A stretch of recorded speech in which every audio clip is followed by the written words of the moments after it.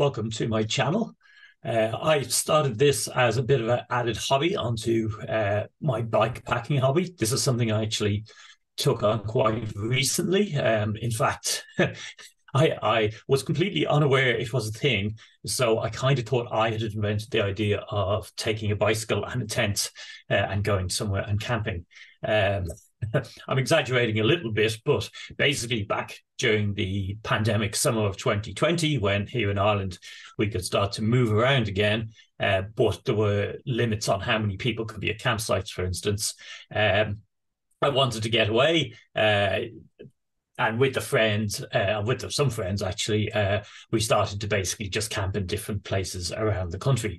Uh, and on one of those occasions, in order to get there, I thought, well, I just cycle down, and uh, I was basically heading towards Dunmore East, uh, and I.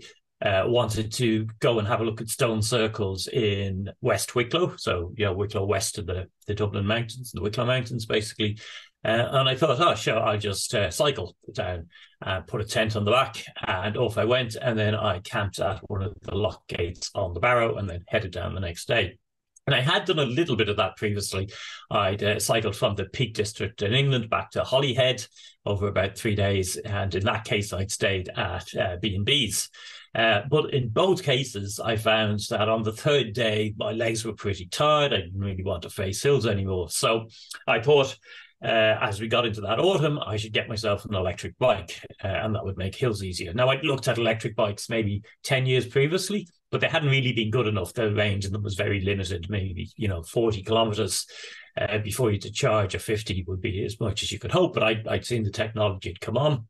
Uh, so I kind of uh, was look. I didn't do a lot of research. I mean, I should have done more, but I was kind of lucky with the way I went. Uh, I realized it's a good idea to get a bike from a local provider because electric bikes do need more servicing than usual normal bikes. They're harder to do yourselves. The electric um, components, in particular, they need a specialist computer that you're not going to buy for yourself. Uh, so you need a, a follow up service to be available. So I did that. I bought it at a place called Greenaer in Dublin. Um, and I knew I wanted primarily to do touring on it, uh, so I knew I needed needed a back carrier basically, um, and uh, I identified the Raleigh Motus Tour as a relatively cheap option, cheap for an electric bike, two thousand seven hundred euros isn't cheap.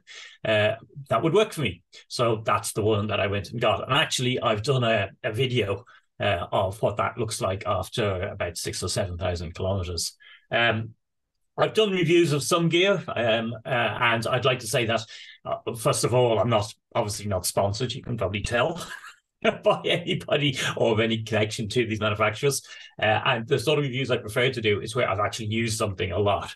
Uh, so I've also done a tent review, um, and that's of my MSR Hubba after spending. Uh, I, I, think about 150 nights over five or six years of it, you know. So, uh, in other words, when I as far as possible, if I'm, if I'm reviewing something, I've really tested it out and I've got ideas on it. I also have a few videos where I talk about how you might best do something like staying warm while you're sleeping, which is this one, um, where I basically look at the different uh, things I do. Uh, the short answer, by the way, to that is you layering works very well. Uh, and then the videos I started with were ones that simply described the routes I was following. I kind of wanted somewhere to store the footage I was shooting as much as anything else. Uh, so if you go right back to my archive, the very early ones are pretty basic.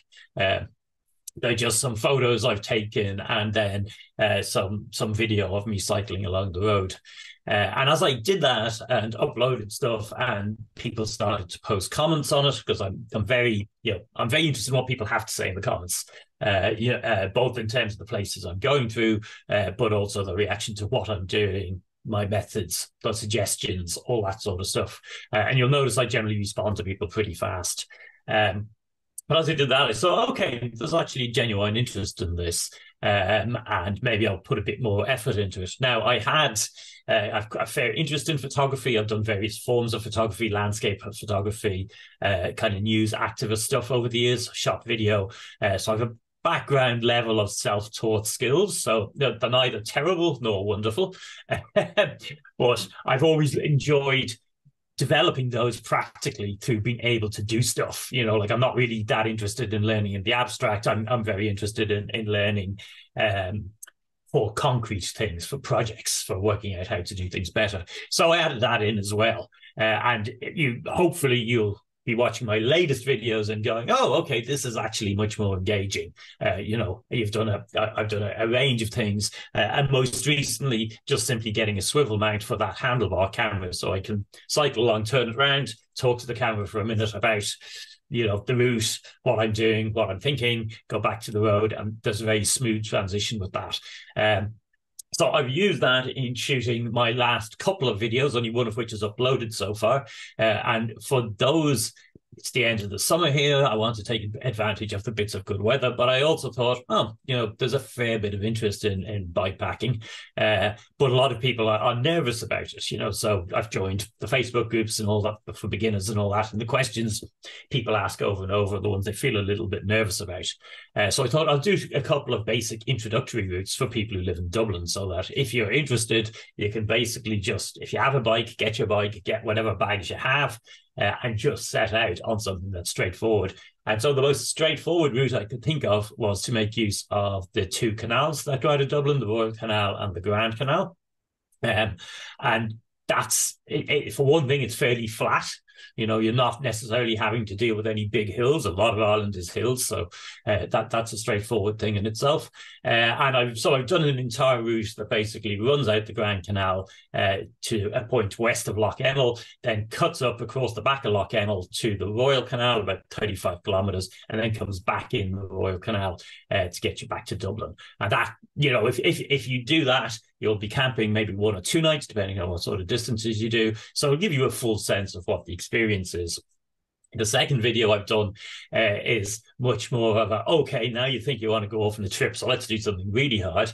And uh, there's a good hard run from Dublin, which is to go up the old the military road all the way down to Glenmalure. That's 1700 meters of climb, lots of ups, lots of downs. Uh, you know, if you want to test what it feels like to be on a fully loaded bike, that's a great way of doing it. Uh, and I, I recommend it. That video should be up in the next couple of days and you'll be able to watch it.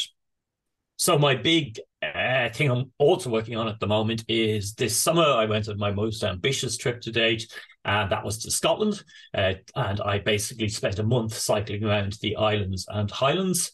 Um, which was quite a test.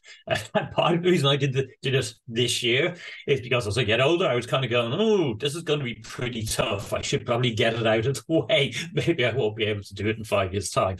Um, but yeah, that was a great trip. And I, when I came back, I immediately uploaded uh, basically my raw road footage. So that's that handlebar camera, at the roads I'm cycling along. I now mostly shoot in time lapse, so you get this really fast view of it. Uh, and then as I've had time, I've been editing a day to day video diary, basically using highlights of that road footage and then uh, the photos I was taking with my phone as I went along. And then, you know, doing a report that is between, I think, the shortest, shortest of probably three and a half minutes, the longest for about 10 minutes, uh, where I talk about what that day was like. Uh, and I think they're pretty good to watch from start to finish. I'm on day 22. I have another seven days to go uh, because you get the whole idea of sequences of events and the way they affect you. So one thing that happens in Scotland, I had a wonderfully uh, good weather start to it for the initial islands, uh, and then around day seventeen, the first really heavy rain and wind started, and I was looking at the forecast and realizing I was going to have at least a week of this. So there's a whole series of days where day after day, I the footage is me getting drenched or trying to talk to the camera in a very high wind, and you can hardly make out any of the words. Um, and I think that's quite useful. And sort of going, oh, okay, so this is what this feels like if things are not going so great. Um, you know, I still thoroughly enjoyed it, so I'm hoping that's part of what I'm trying to get across. Um, so the last thing is, well, what am I doing with the channel? And the answer to that is, I don't really know.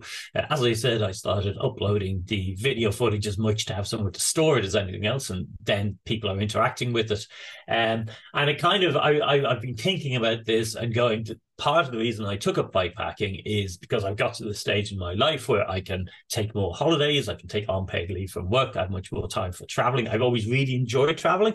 Uh, you know, I've done quite a lot of international traveling, but we're in this climate crisis and we're heading and it's getting worse. Um, so I kind of didn't want to be taking a lot of extra time off and then flying all over the place and adding to that burden. So I was kind of looking for something that I would really enjoy and would be rewarding. It would not be a, a hair shirt or anything, um, but would enable me to go for go off for quite long periods of time. And also, of course, finance expensive to travel. So how do you do stuff cheaply? Uh, particularly if you don't want, if you want to travel locally, and unfortunately Ireland, Scotland, etc., they're quite expensive places for accommodation and things. So bike packing was also my answer to that. Uh, you know, it's enabled me to uh, spend weeks basically in each summer uh, traveling, but probably with a very, very low impact uh, and also relatively cheaply. I must do some videos on costs and how I manage all that because uh, I notice it's one of the things people ask about all the time. Um, but that's the other thing I'm also trying to do is I'm identifying questions people have about bike, bike packing and trying to answer them, and particular about uh, bike packing with an electric bike. Uh, you know, so one of the things I could see immediately from comments and discussions on Facebook groups and things was that what really concerns a lot of people is the idea that the batteries are going to run out in the middle of nowhere. And how do you keep the bike charged? So by far my most popular video is the video that just simply talks about how i was how i've been doing that in practice uh, version is actually it's nothing like as as hard to keep it charged as you imagine. Although it's very, very useful to get two batteries, so you have uh, room for error and difficulty. But I've never had a, I've never uh, managed to exhaust both the batteries. Uh, I've not even come all that close, except in a context where I am doing a B and B night, so I know I've a definite recharge, uh, and I don't bother looking. Basically, in that case, uh, you know, so then maybe I get towards the end anyway, that's where I am at the moment with the channel. Um, I'm going to be adding videos over the winter, which we're going to be processing things I've uh, processing my footage and my uh, photos from the summer and looking at what questions people have and trying to answer those questions. Uh, I think I'll also do a couple of experimental trips in the winter uh, in Ireland in in tough well in tough weather conditions uh, and try a winter kit see if I can keep myself warm. Um, maybe also do a, a, simpler one that's just going between bed and breakfasts or whatever. Uh, and I will probably be doing some international travel this year again. You know, I'll probably be going to the Canaries in January because I find that sunlight really helps keep me sane through the winter. Um, and if I do that, I'm actually considering renting a, a gravel e-bike this time and doing a whole load of off-trail stuff. So I'll also be doing a report back on that. Uh, anyway, if you've made it this far through, make sure you follow the channel um, and do post comments uh, in particular because I monitor them. You'll see I answer them pretty fast, and a lot of the inspiration I get about what I should do, what I should talk about, is is coming from what people watching my videos have posted. Uh, so thanks for watching.